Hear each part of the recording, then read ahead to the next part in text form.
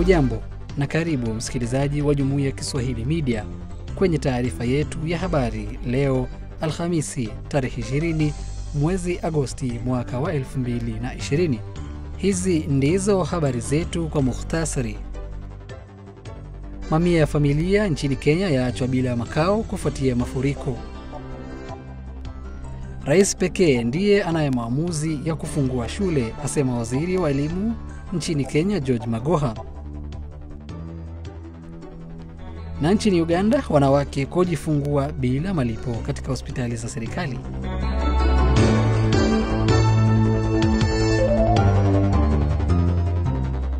Taarifa kamili. Zaidi ya familia 400 kutoka Budalangi, kaunti ya Busia, wamekuwa wakiishi bila makao tangu mwezi Aprili kufuatia mafuriko. Familia hizo zimekuwa zikipiga kambi katika shule ya msingi ya Babango. Hii ni baada ya mto Nzoia unaotiririka hadi ziwa Victoria kuvunja fukwe zake na kusababisha mafuriko, huku ikiwaacha familia hizo bila makao. Wanasayansi wameonya kuwa mafuriko yataweza kuongezeka kwa sababu ya mabadiliko ya tabia nchi. Wakati huo huo, waziri wa elimu nchini Kenya George Magoha amesema kuwa kufunguliwa kwa shule ni maamuzi ya rais tu. Kulingana na waziri Magoha, shule zitafunguliwa baada ya matayarisho kabambe kufanyika, huku akiongeza kuwa hata kama matayarisho hayo yatafanywa, kufunguliwa kwa mashule ni maamuzi ya rais pekee. ameomba Wakenya kuwa watulivu, akiongeza kuwa maisha ya wanafunzi ni muhimu.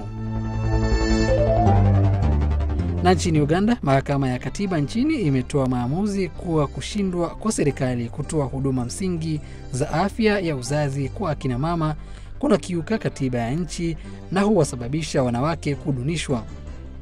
Wakati huo huo, mahakama imetoa fidia ya dola 84,000 kwa familia za wanawake wawili waliofariki walipokuwa wakijifungua kwenye vituo vya afya vya serikali. Maamuzi haya yamefanyika miaka tisa tangu kuwasilishwa kwa kesi hizo mahakamani.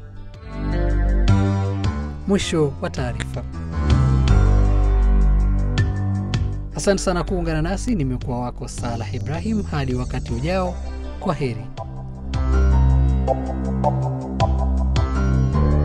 Jumuiya ya Kiswahili Media ina leseni kutoka kwa Tume ya Mawasiliano ya Uganda UCC.